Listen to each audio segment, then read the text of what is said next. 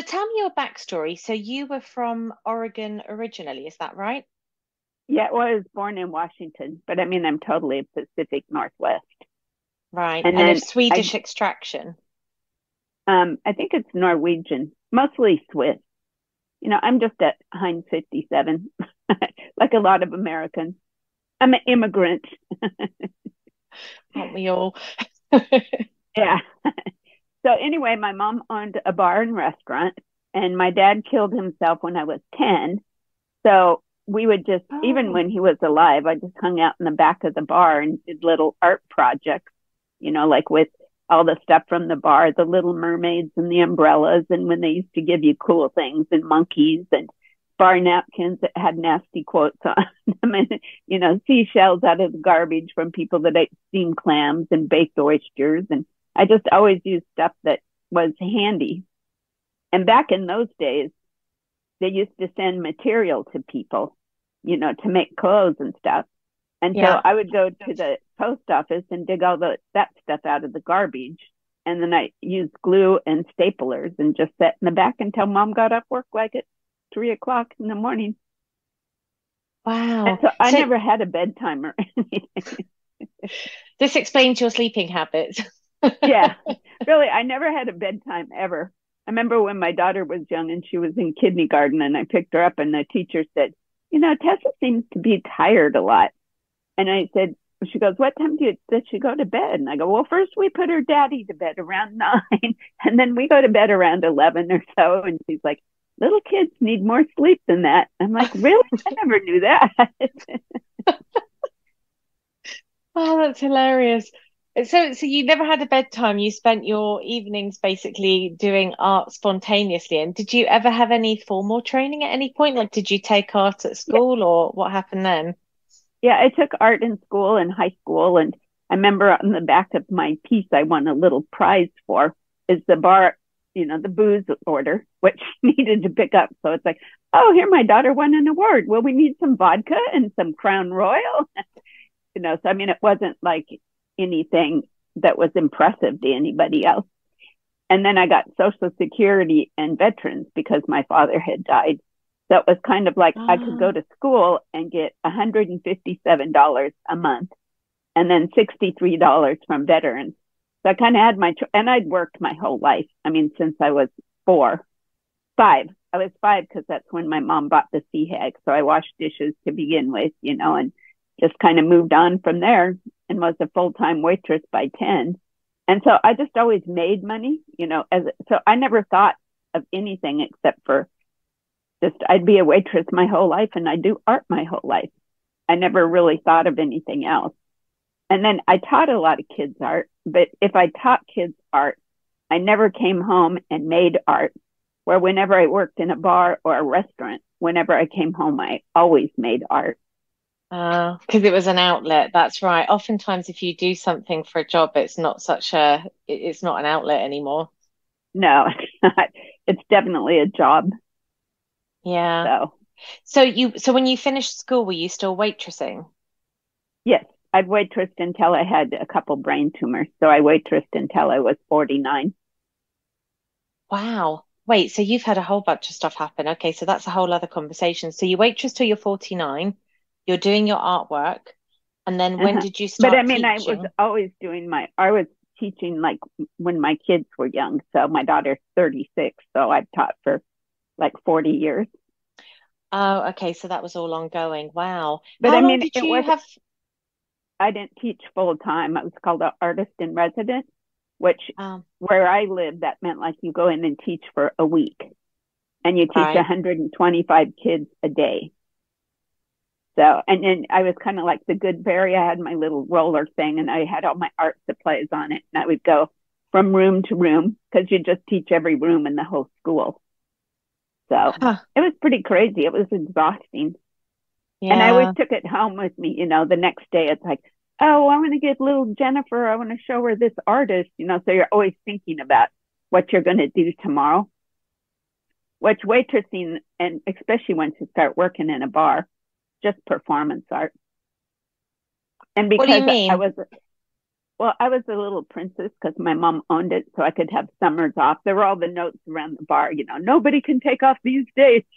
and I got to take off summers. I got to take off when I did my master's, September and May, which is when it's the busiest time for the place. But mm. I could do whatever I wanted, because my mom owned the place. So, and instead of ever cutting people off that were drunk, I just became the bad waitress and just never went to their table. So it was easy. And then my mom sold it and I worked for the lady for about a couple weeks and thought, well, this isn't any fun. I mean, I can't have Christmases off and all the time I want off.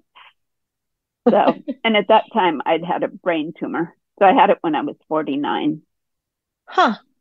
And was that, did you recover from that fully then? Did you just have it removed and, and life went back to normal or has it had any kind of long term impact? Well, life kind of went back to normal, but not really. It's like I had Alzheimer's, but knew it. So it was like I had just learned Final Cut Pro and I was doing video work. And because it was the last thing I learned, it was the first thing I couldn't figure out. And I couldn't figure out like how to take my clothes off, you know, my sweatshirt. So I just had a pair of scissors and I just cut down the middle of a sweatshirt.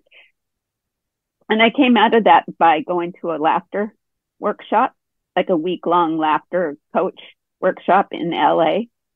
And it was right around this time. It was May 10th is when I went down there and it was a two week certificate. So I'm a certified laughter coach.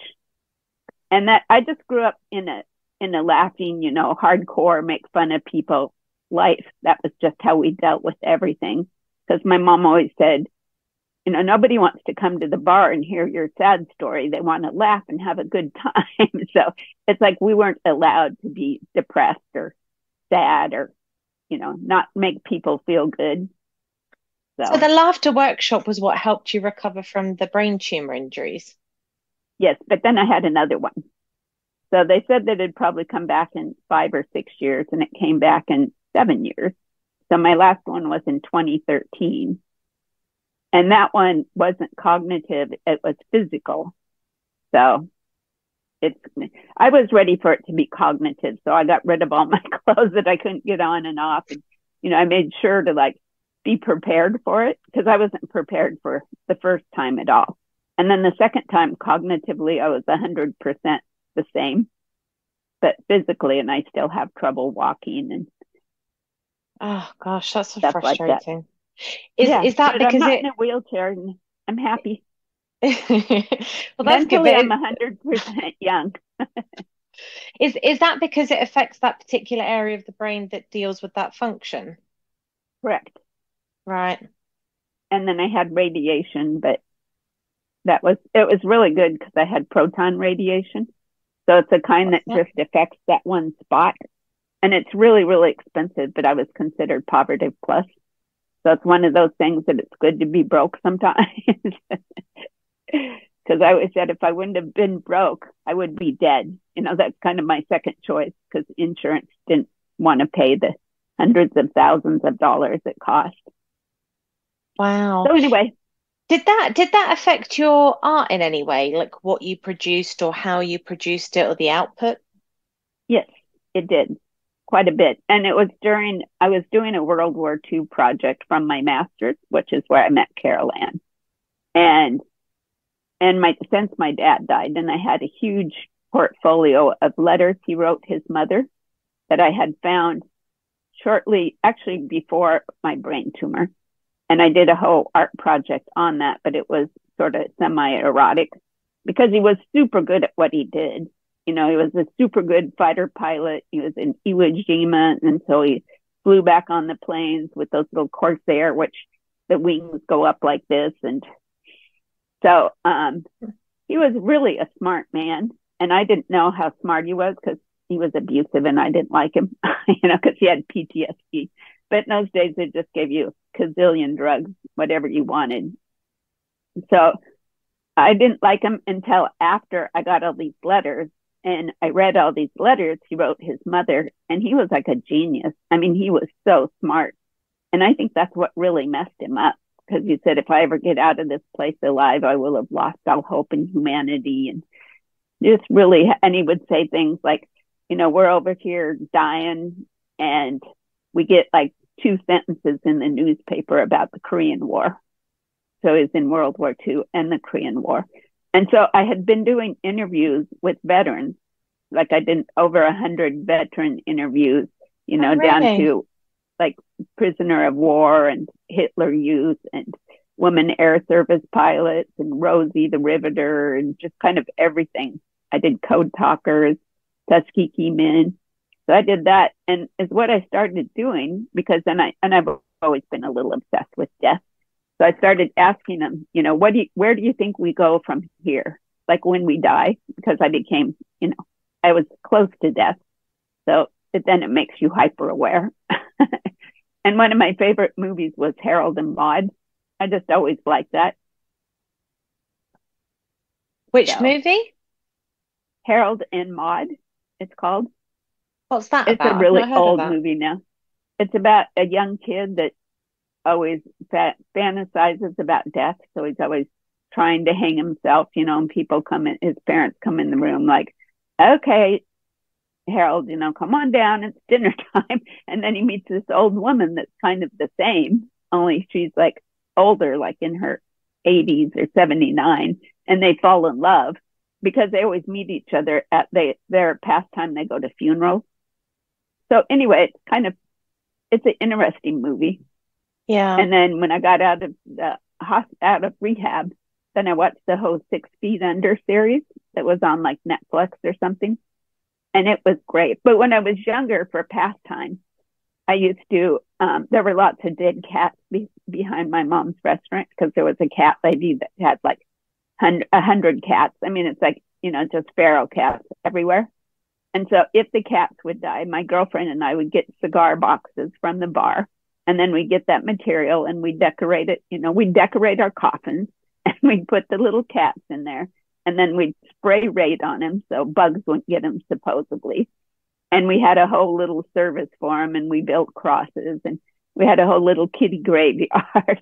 and so that was, you know, just another kind of art project that you do when you're raised by parents that work all the time. And, you know, there wasn't a lot of traffic in those days. You didn't have to worry about your kids getting run over. Yeah. If there were perverts out there, they were all in the bar.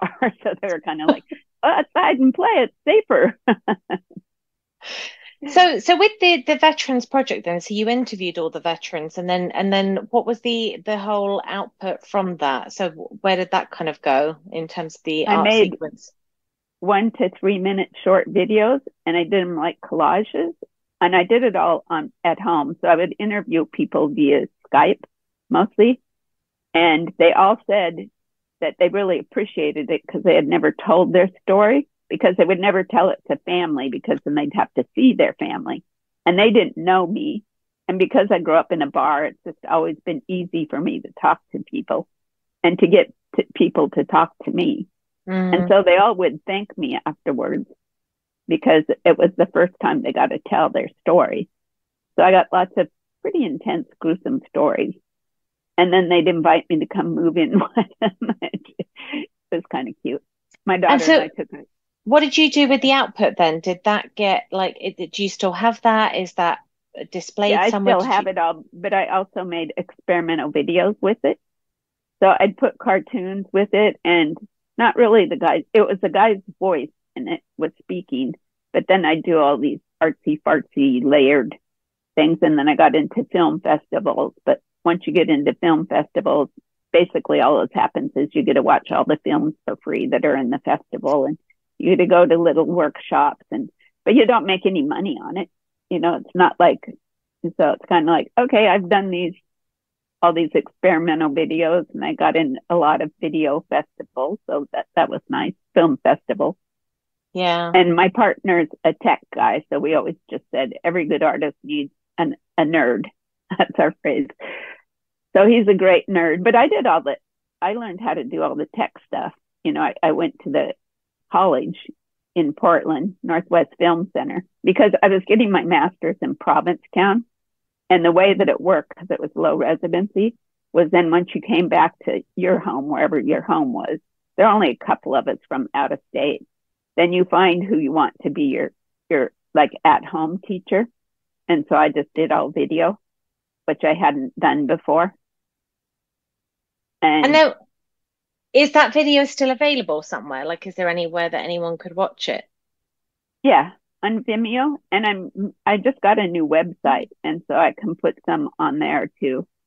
My website just has a bunch of my artwork. I kind of wanted to do it like my biography for my grandkids.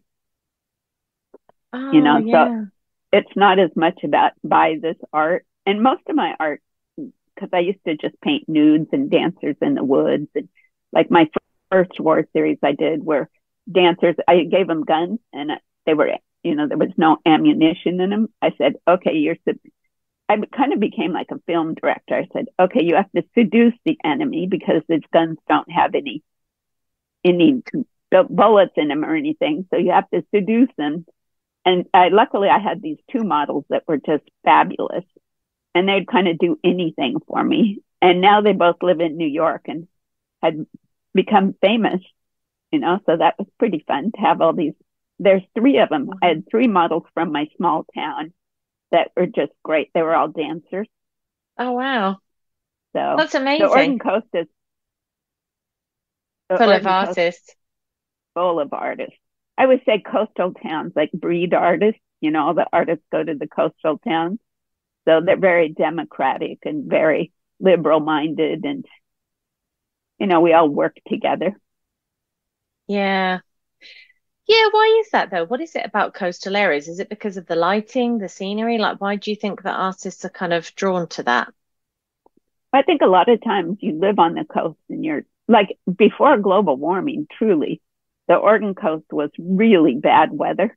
You know, the weather would be sideways and pouring rain, and it just becomes a, oh. a way of life. You know, they become tourist towns, so you can make a living easily and you can and also artists like jobs that you know you don't have to think about too much because you can go to work and then you can still do your artwork so it's not like a job where you're an engineer or a technician and you have to think about what you're doing and so i did it- and even if you weren't an artist while you were there you know there's a lot of downtime when you live in those kind of places so what do you do in your downtime a lot of writers there's a lot, a lot of writers, which makes sense. They get to look out the window. You know, you can afford oceanfront, which you never could if you lived in California or yeah, somewhere else. Wow. How did you get into Bitcoin then? Because I think I feel like this is a story that's probably quite interesting because you're now, just for context, you're sort of, oh, is it fair to say you're focusing on Bitcoin art or you're doing a lot of Bitcoin related art? I'm doing Bitcoin and also EcoPlay is another series that I'm working on simultaneously. So it gets kind of, and the eco stuff I'm putting figures in because I've always painted figures. So it's kind of complicated because I'm going a lot of different directions. But Bitcoin, I just had this two year show because after I really wanted to quit doing my World War II stuff but all these guys were getting up to their hundreds. So it's like, well, do I have to wait till the last one dies? How can I get out of this project that I had just been so invested in for six years? I did it. And then I took all the video and I sent them to an organization called Witness to War. So this all documented. And then I just made the little experimental videos with him. So I did the art stuff with him. And then I did a project, which is like this thing behind me that uh-huh. is called Connecting US 20. And that was after my mom died. My mom was like a bigger than life person. She was the little, the big fish in the little pond. So she played the alcohol bottles and people came from all over to hear her. So she was kind of a performance artist, you know, so she liked you to go in the bar and wear your short skirts and hug everybody, smash your boobies up on them, you know, before you got in trouble for doing that stuff. And yeah, so we were just raised around people and kind of entertaining people. And a lot of movie stars went there, like, because Ken Kesey was from there. So he did sometimes a great notion and one flew over the cuckoo's nest. And there's been lots of movies made on the coast. Amazing. But how does that segue then into Bitcoin? So you handed off your, your veterans project and then what happened? Well, then my mom died. So I did a two year project called Connecting US 20 because when I was going to school in Provincetown, I realized that Boston is the beginning of Highway US Highway 20, and I lived in Newport, that's just on Highway 20. That's the end of it. So I was doing this project before the sign even went up. I knew I wanted to do something on Highway 20 and I didn't know what it was going to be. And I just started putting safety pins together. So safety pins became a big part of it. And I did that because my mom was had Alzheimer's. So I'd just sit on the phone and we wouldn't talk because she got to a point where she couldn't talk very well. Right. And I'd just be putting safety pins together, but I didn't know why. I thought it was kind of like the rosary or Buddhist beads, you know. Just, I'd say, okay, mom, I'm still on the phone and I'm doing my thing. So it's okay if we don't talk. But I didn't know what I was doing them for. And then one thing mor- morphed into another thing. And then they were starting to underfund libraries. So I knew I wanted to do the project in libraries. And I made two maps of every state. And that's this purple one over here is one of the maps. And then I did two two maps of the whole Highway 20, which is 13 states a, that it goes through. And so I did an event in libraries in each one of those states. And then I had a big show at the end. It's kind of, you know, if you're, like I said, the, the big, big fish in the small pond. So I've had lots of one woman shows, you know, which I love because then it's just, you have the whole, I make it into an installation. And so I had this highway, highway 20 show that was showed all these maps and they were hanging from the ceiling. And then I had made all these uh, 16 by 20 photos of the books that we did in each place that I had them covered these tubs. And so that was the whole back wall because I, I had them made into 16 by 20 photographs at Costco and then laminated them and had those all put up there. And then I did a, a performance part when people would come in. I called it running through rainbows. So they'd toss up this cheesecloth and run through it. And I would do little videos on my iPhone, you know, the hyper, the fast ones. And then, no, the slow ones. Slow, slow motion, yeah. Yeah. So the, the cheesecloth was really floating down. And then I would, um, so that was my project. And with the night of the opening, so when it, the first, you know, so I'd been done, I just finished a two year project that was pretty intense and my girlfriend that I had met in New Zealand, that's another big story.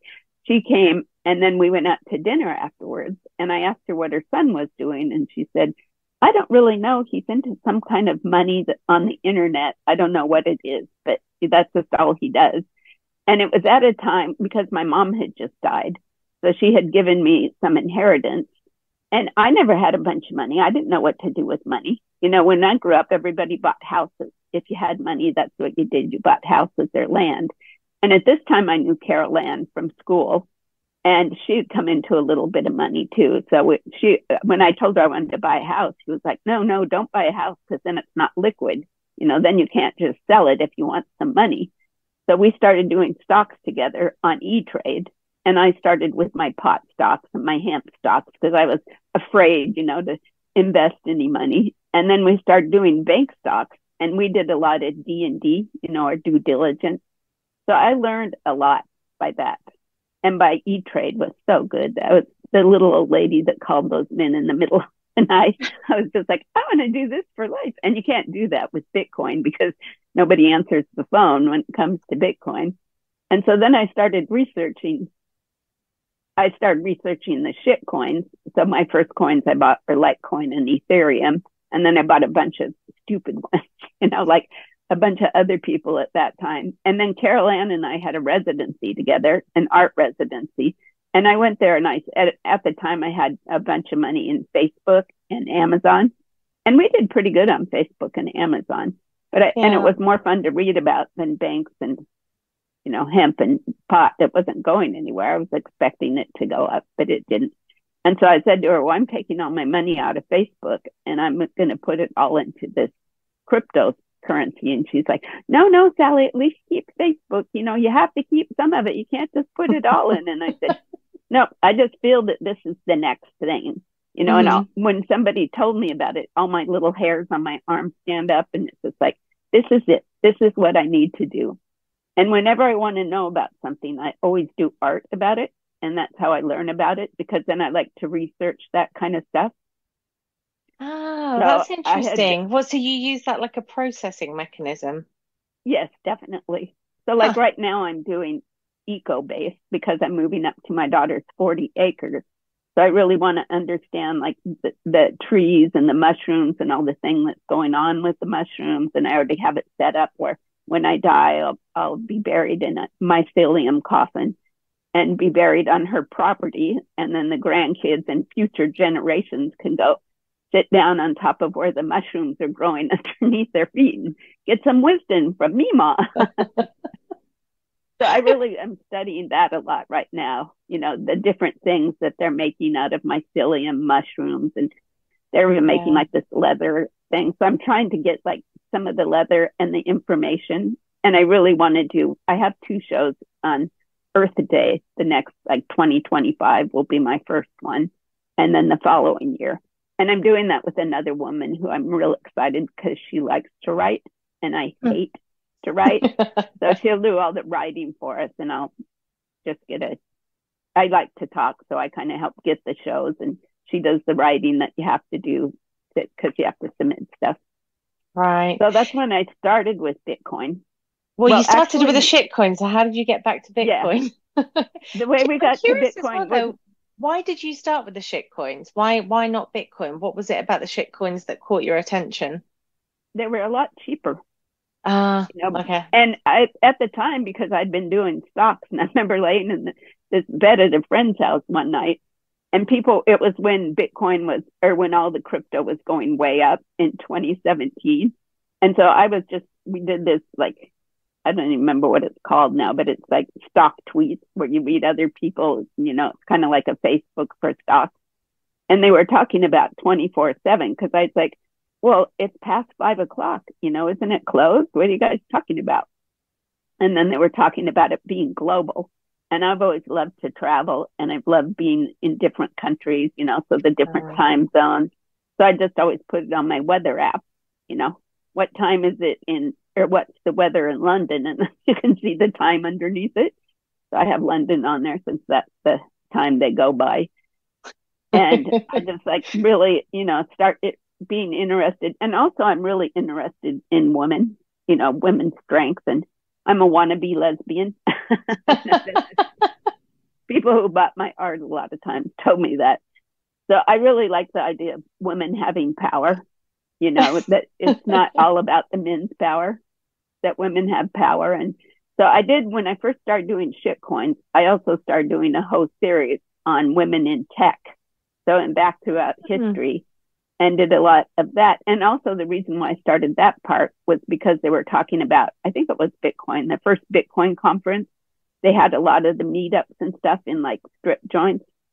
And it, they were bit, hardly any women were in Bitcoin at the beginning, yeah, or any of the then so I talked Carol Ann to doing this conference with me. We just went to it, and I think it was 2017, and it was in Dallas, Texas, and it was all like the Alex. I can't remember his last name, but the one from Celsius, you know. And I remember him oh, saying, uh, Mashinsky, yeah, yeah, the one from Celsius that died first. It was the first, the first exchange that went down. And I remember he said, "How many?" I thought I thought believe... you meant Alex died, and I was like, I was sure he was on Twitter the other day, and then I'm like, he's dead. no, he's alive. StockTwits. That's what I was thinking of the name. It was called StockTwits. Anyway, so oh. he was he had everybody raise their hand. You know, who's going to win? Basically, Ethereum or Bitcoin. And at the time, I had Ethereum and I had Litecoin because I thought Litecoin was like Bitcoin but then the more, because we just did all our D and D, we read everything. Carol Ann reads absolutely everything, and then she sends me the good stuff. So I'm really blessed with that. And I'm a strong believer that if you're going to get into Bitcoin, you need to really research it. And yeah. now there is so much to research with all the podcasts. In 2017, I mean, you could read absolutely everything about it and still not know that much because there weren't any podcasts. Yeah. Andreas Antonopoulos, yeah. Yeah, he was pretty much the only thing you could find on the computer. So we studied him a lot. And we used to love to listen to the podcast by Laura Shin.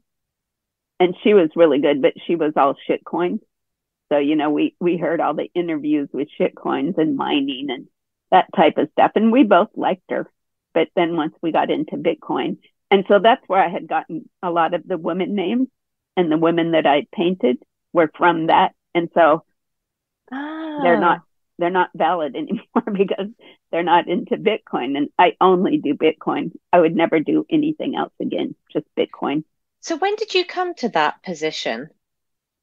It was actually it was right during the crash with Roger Ver and trying to say Bitcoin Cash was Bitcoin, and then there was Bitcoin, and we had started buying Bitcoin. Carol Ann and I both. We kind of did things simultaneously, but then during the crash, it was definitely obvious that Bitcoin was the real the real money, and all the other ones were scams.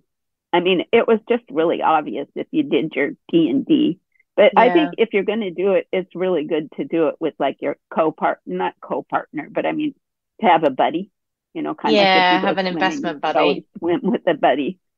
Yeah, so you can both work on it together and bounce things off of each other. And hmm. so we both just started doing Bitcoin and we almost bought Bitcoin Cash because it's like, okay, well, which one's going to go? Maybe we should do 50 50, you know, put half into Bitcoin Cash. And luckily we didn't. So, and so did your Bitcoin art evolve because of your investing interest in Bitcoin and that sort of need that you have to understand things through creating yes. art? Yes, hmm. totally. And the Bitcoin piece that is on on the little video that they're showing the artists for this Bitcoin conference is a piece that I had started with the shit coins.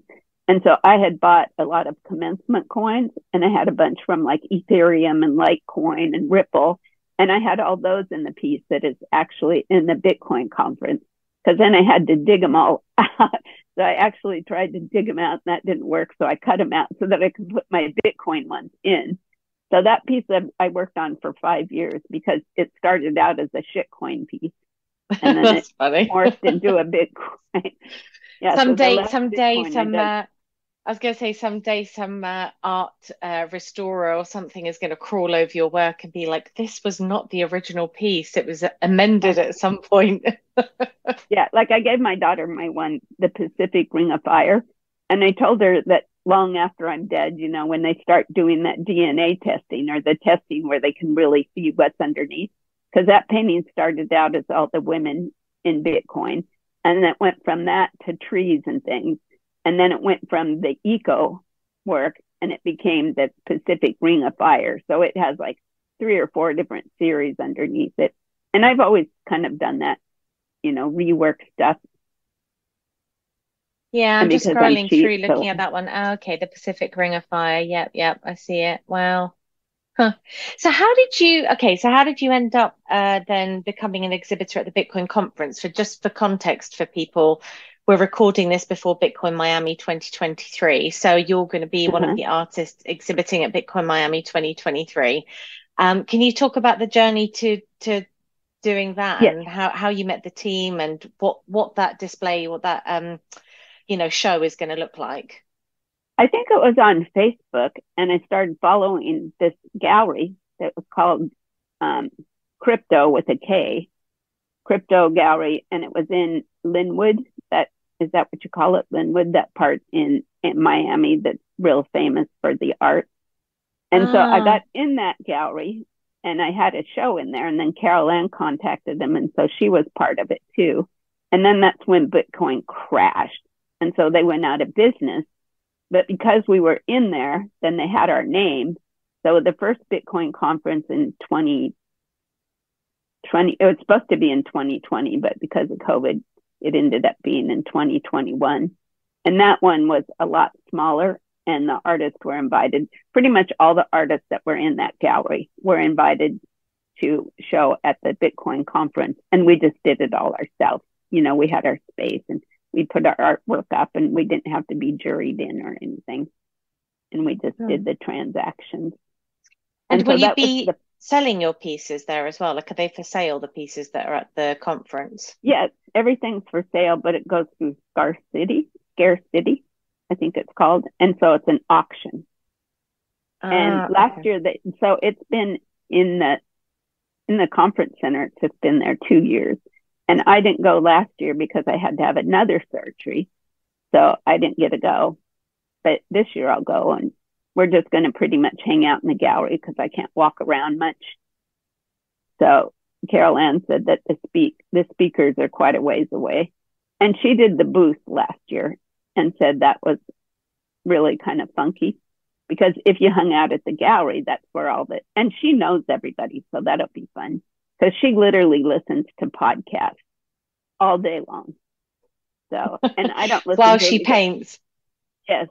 And I like to listen to books on tape. So I don't I listen to the ones she sends me and we listen to everything Natalie, anything that Natalie does. Like I always watch every video. Natalie Brunell's, you mean Natalie Brunell's Hard Money Show? Yes, I love her. Just anything about her, you know, like I've read about her history, her and um the strike guy, Jack. Oh yeah, Jack Mallers. Yeah, I love. You should you should paint Natalie. I wonder if she'd sit for you.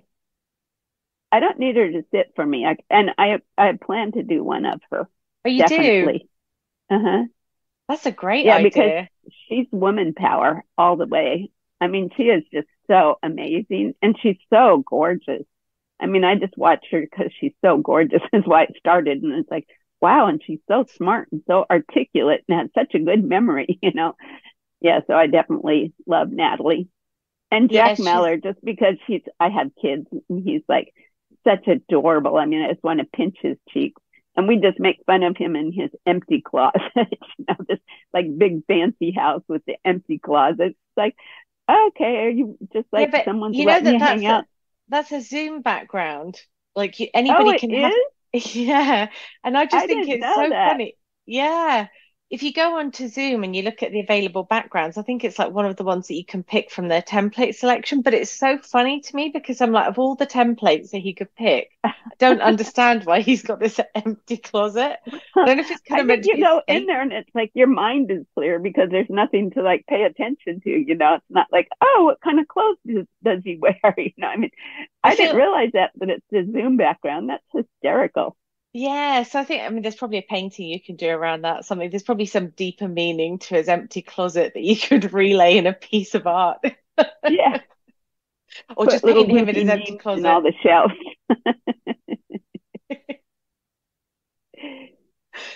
yeah, that's hilarious. Oh, that's really cool. That would actually be really fun though, a series of like prominent Bitcoiners who are kind of hit that well, I think who will become historical figures you know, the Jack uh-huh. Mallers, the Nat Brunells of the world, at some point are going to be historical figures. You know, when we look back on the history of this sort of Bitcoin revolution happening, whatever you want to call it, I just feel that, you know, there are certain characters that will be written about in the history of Bitcoin. Yeah, and I have some text from um, Michael Saylor, of course. So I have one of a lifeboat, and then I have one of the rockets, but I think neither of them are done. So I have so many paintings that are started but not done. And I go to art residencies all the time. So I just went to three different ones one in uh, Maine and one in upstate New York. And I just got back from one in South Carolina. So I don't necessarily finish all the pieces that I do there because where I live now, I don't have a studio. So I do the, ah. the larger part and then I, I have a six foot table so I can do the smaller part on the six foot table. So I have a couple wow. more Bitcoin ones started that are like, you know, 36 by 36. So not big, but not small. Yeah. How many pieces are you showing in Miami? Three. And it was a juried show this time. And I think that was the limit was three. It's a what show? It's, it's a juried show. So you oh. had to submit your images and they chose if you could be in or not. Which are you able to, are you allowed to share which pieces are going to be in? Well, you're allowed to jury, you know, you send them the pieces that you want juried in. And you could send up to three pieces. And then, like Carol Ann and I both got our three pieces in. So but uh, oh, no, sorry. What I what I meant is, are you allowed to share which pieces? Because you sent me some photos of some of your pieces. So there's the orange, kind of and yellow cloth. Yeah, and the... that one's not going to be in actually. That one was in okay. the first art residency. I mean, the first show that was in Miami, and actually it's still in the box and it's in a storage room. room, so I haven't even took it out of the box. Because Carol Ann said, "Oh, is that one going to be in?" I go, "No, it's still in a box." Because it came in the box and I just, you know, had other things going on and I'm building a tiny house on my daughter's 40 acres. So I have a I, I have a storage unit up there where all that stuff is. All my Bitcoin paintings are up there, except for these new ones. So I had just done these three. Oh, that's amazing. Well, so you can one, live in a tiny house. I love it.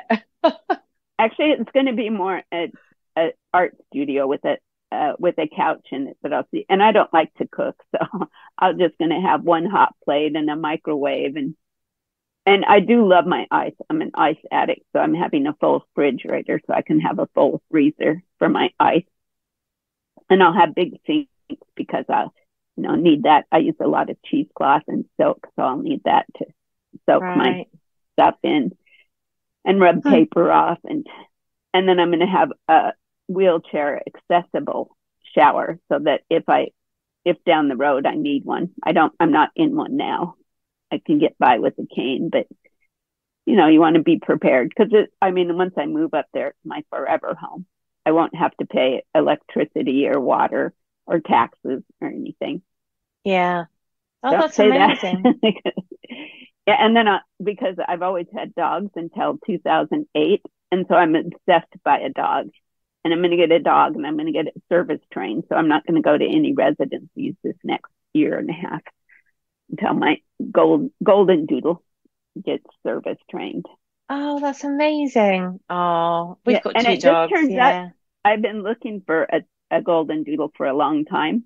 It just turns out that the lady that breeds this one is like 10 minutes from my daughter's house. So we become friends and I've met the mother and the father and the nieces and all the cousins to my dog that's not even impregnated yet. it was meant to be, clearly. yeah, definitely. And then my daughter has dogs, so and she has cats and the cats can't come in the house because her husband's allergic. So I'll have cats and dogs and since it's a wheelchair shower, we can just put them in there and you know, wash them off because she has a lake there and and being in Oregon, it gets pretty muddy. I say, bring the dog in. My floor is not going to be carpeted or anything. So bring yeah. the dogs in, let them bring in the mud. And yeah, I'm excited about it a lot. That sounds great. Can you talk to me a little bit then about how you feel Bitcoin relates to your environmental work and your environmental views? Because I'm sure you have quite strong opinions about Bitcoin mining. Could you talk a little bit about that and where you see it fitting in? Yes. I have a big issue about mining and I have a big issue about Democrat Republic. And I, I wrote you that and I said I wasn't going to talk about it. and it's like, oh, blah, blah, blah, blah, blah. I always talk about things I say I'm not going to. Like, definitely don't say what you're not going to do because then I definitely do it. But the main thing for me, being from the Northwest, is the water. You know, so they're like, oh, well, working with dams, that's great because it doesn't use any extra. But it's what it does is it heats up the water so then the warmer waters in the, the river system, and that kills the wildlife and the fish. And then the fish can't spawn as well. So when you're talking about that, you're talking about using hydro, is that right? Right. And that's the one in Wenatchee, which is where I was born. That's where they started doing big ones, you know. And so then I have all my relatives. If when I talk about Bitcoin, that's the first thing that comes up is this dam that they basically destroyed the habitat in it by doing the electro, the hydro electricity. And then nuclear too. The town that I'm moving to my daughter's is really close to where the biggest nuclear plant was on the Northwest. And my partner is really involved in Japan and he's like on a couple Japan society and he's been to Japan 49 times. You know, in nuclear plants, the problem is the waste they have nowhere to put the waste from it. And so it pollutes everything too. And then it also eats up the water system and it just kills every every wildlife and plant life around it. So those are the two that bother me a lot, of course. And what would and your preferred way of i mean so if you're obviously a fan of bitcoin so i guess you've gone through the whole process of this in your mind what's your preferred way then of bitcoin mining like what would be your preferred energy source if you could pick one geothermal. That's why I did that that that Pacific Ring of Fire, and all, I didn't realize that there were so many volcanoes, you know, and that that El Salvador is really working on like the volcano city. And so there's just once they can figure out how to do geothermal. And my thing is that I tell people is it's still new. And the people that are involved in Bitcoin, there are so many young, smart engineer, technician kind of people. So I believe that they will figure it out. It's just not, might not be in my lifetime, but I believe it will be in my kids' lifetime. And so with geothermal, I don't know how much you've delved into this, but how would somebody do that? Would they just harness the the heat that comes from the volcanoes and then use that to power right. the miner? Is that the thinking? Yes. And would then that... I don't understand all the flaring and all that mess mess.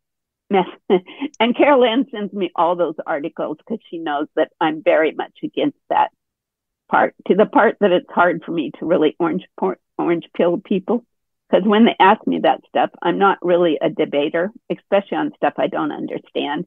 Like I understand the waterways because I understand the nature eco part of of the world. Yeah, that makes sense. I mean, I'm not by that part.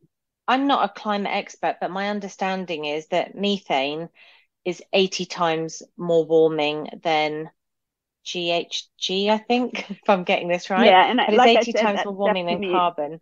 Yeah, and when you drill for oil, boring. which right, but but you know, effective, right? Because if you drill for oil, um, methane gets expelled, and I think usually what they do is they burn it off, and that's very polluting, right. or it's very it's very warming. I don't know how polluting is in terms of the air that you breathe, but it's very warming.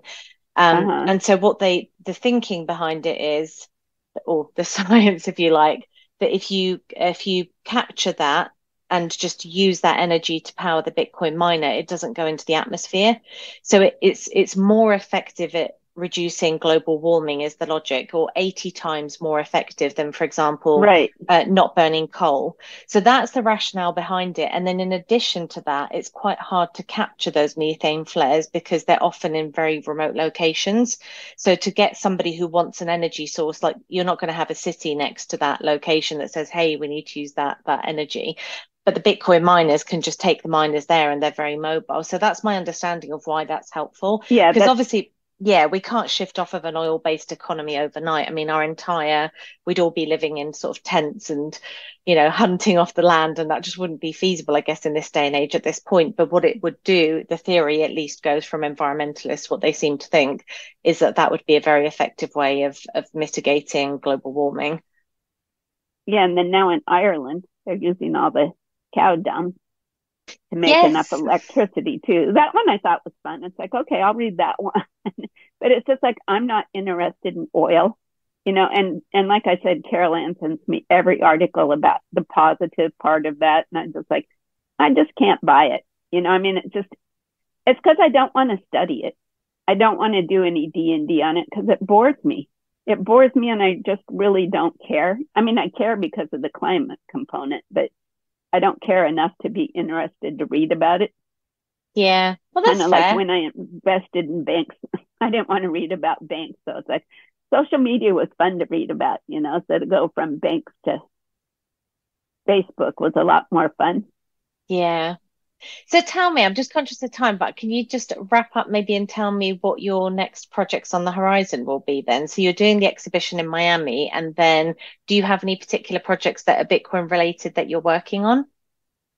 Um, yeah, I am. I'm working on, I really like, there's this one that I did for the conference that AI, they put it in AI, like if Dr. Seuss was to write about Bitcoin, what would he write? So I have that in there and I just think it's hysterical. And so I'm playing a little bit with AI and partly because I'm a bad writer. So I think maybe this will help me, but it didn't because I'm bad at prompts. So my prompt, I didn't do this Dr. Seuss one. I found that on, on Twitter. You know, Twitter's just full of stuff that you can appropriate and it's okay to appropriate stuff. So the next one, there's two that I want to work on. One I am working on and it's a, a 36 by 36. It's a, actually bigger than that, but I'm going to put it on a canvas because I work on silk. So I paint actually on silk with heavy acrylic because wow. since I travel all the time and since I don't really live anywhere full time, you know, to, to, to store that, to store paintings takes up room where you can store like a hundred silk pieces, you know, and it doesn't take up as much room as 10 canvas pieces. So I paint on silk and then it doesn't cost hardly anything to ship it back and forth or I roll it up and just have it in my suitcase. Whereas you can't do that with Canvas. Like just sending my three pieces to the conference in Miami cost me $290 to ship three pieces. Where when I did my art residency and I did, I don't know, 10 pieces or 20 pieces, I rolled it up and put it in my suitcase. And some I sent home and it cost me $10.13. And that was through the post office. But I mean, that's the difference, you know? Yeah. Wow, you have to take incredible. all that into an account. And so, do you dabble in digital art? I mean, what do you think about this sort of generative art using AI? And do you dabble in that a lot? Like, I know you're saying about the prompts, but is that stuff that you're going to start using and incorporating into your art? I think so, but not NFTs. I've gone back and forth with NFTs and I've done a lot of due diligence on them. And it just, to me, if I did NFTs, I would want to use little pieces of my video because videos for NFTs. And actually, I looked at like this gallery in Canada once. I can't remember what it is, and I didn't bookmark it, but it was super cool. And if I was younger, I'd probably do that. But I'm going to be 66 next week, and so I don't want to learn a whole new thing. You know, I just it's just because there's a lot of learning to do. So I don't want to do NFTs for that reason. And I was going to do them to begin with, but the more I read Have about you... them, the more I was going to say, have you looked into ordinals? I don't know what they are. I've ah. seen the ah. word. um, it's, I guess you would describe it as NFTs on the Bitcoin blockchain in very simplistic terms. It's been a bit controversial because I think a lot of Bitcoiners didn't like the idea of, well, I'm probably going to explain this wrong now, but essentially it's inscriptions on the Bitcoin blockchain but the idea is that you have ordinal numbers that are linked to those specific UTXOs, and that can allow you to transfer ownership because you can sell that specific UTXO in a transaction, allegedly, in the order that it's happened. There's there's debates about whether this is actually valid or not and whether it makes sense. But the big kind of thing was, oh, this is now NFTs on the blockchain, on the Bitcoin blockchain, and therefore you don't need to use a token um, uh, in order to. And so, are these then your actual paintings? Well, you can put the actual painting on the blockchain anyway because you can put an inscription in there. So you can put images and gosh, I'm I'm really over my skis here on the technicalities of it. But my understanding is that this is probably going to get absolutely hammered by anyone that watches this that actually understands this stuff in detail. But my understanding is that you can kind of wrap it in this sort of envelope where that that image is then contained. So you could do that anyway, but the idea with the ordinals is that you can say, well, that transaction happened with this particular UTXO, and therefore whoever owns that UTXO has digital ownership of that particular inscription. That's my understanding how of you, how it works. How do you spell that so I can look it up? Ordinal, uh, just like no ordinal, like ordinal numbers. So O R D I N A L. and I wonder if that's bit off the Bitcoin. Like I know the NFT started off uh, building on top of Ethereum mostly. Yeah, so ordinals are basically the UTXOs on the Bitcoin blockchain. That's um, what I had thought. Yeah. I think that Dennis said something to me about it. Dennis, who organizes the art shows now at oh, the okay. Bitcoin conference. I don't know who yeah. Dennis is, but I'm sure I shall meet him at the conference. yeah. And you're going to stop by and see us? A hundred percent. Yes, a hundred percent. I will be there. I will stop by. I will take a selfie. I'll come and see your art. oh, cool. Yeah, a hundred percent about that. Yeah. Yeah. I mean, yeah. I'm, I'm really honored to be in it.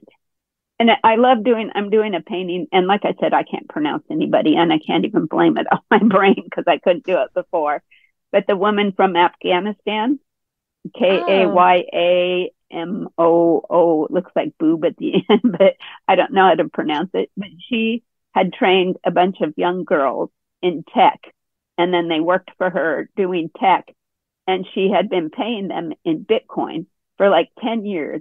And so then when they had the uprising in 2021 and the woman left, they could they could um, go to another country and they had their Bitcoin to start their life, you know, because they didn't have the money taken away from them like every other female.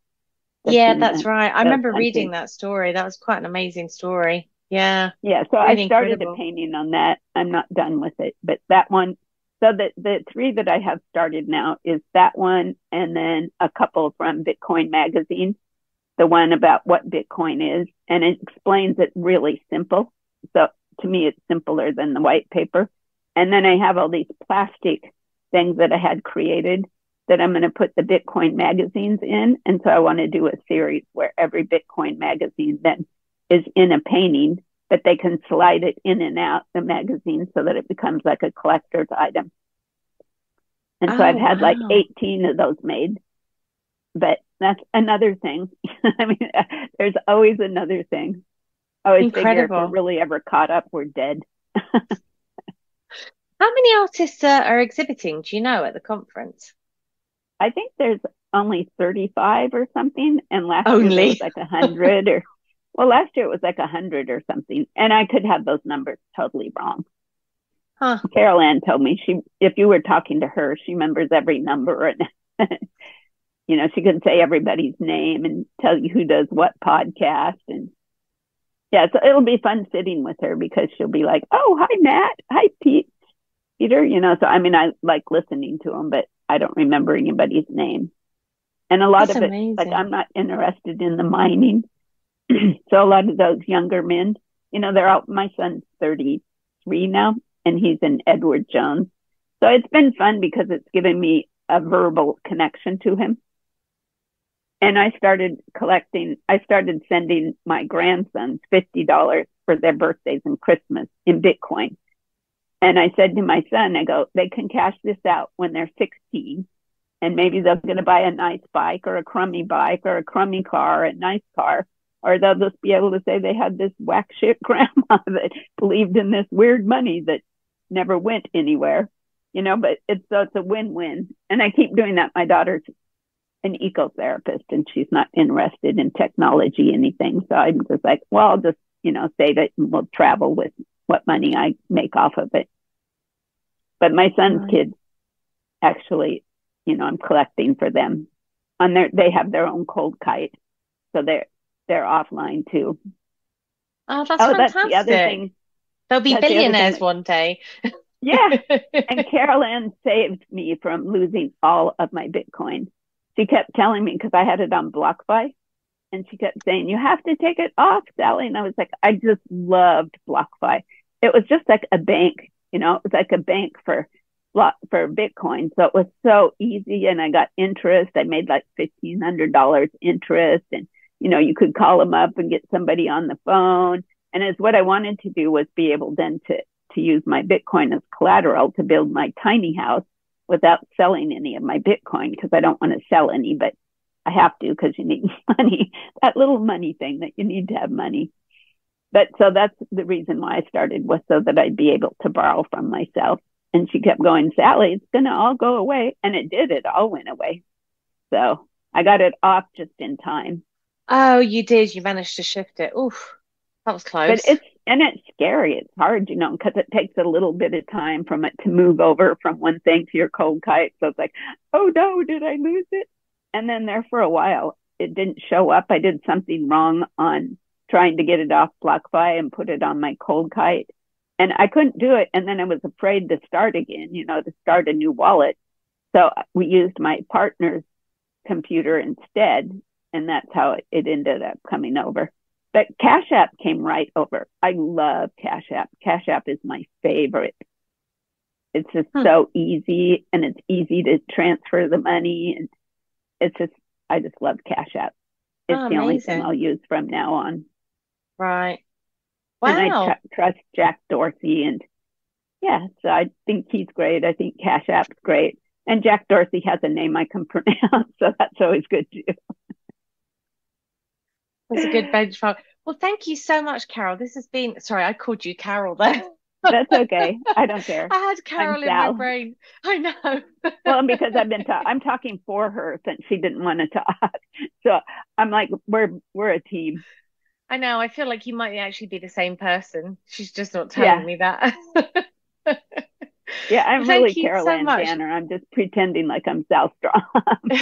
exactly. But thank you so much, Sal. This has been so interesting. It's really interesting to hear your journey as an artist and how you got into Bitcoin and the way you look at it and everything else. Um, could you just let people know where they can find you? So, what your website is and your social media handles? Okay, my website is salstromart.com and then my my handles are all like that Sal underscore Strom. But if you just put Sal Strom in there, it'll come up, and my picture's on there, and I got the laser eyes. So it's but I don't go to Twitter as much. Carol Ann does the Twitter, and I actually do the one that people can't stand the most, which is Facebook. And I do that just because they're all my friends down at the coast. So it's my friend one, you know. And then I do Instagram, and I'm hoping to post more. It's just it's such a hassle. I really mm. hate social media to post things on it, but it's like, especially now that all the galleries have closed down.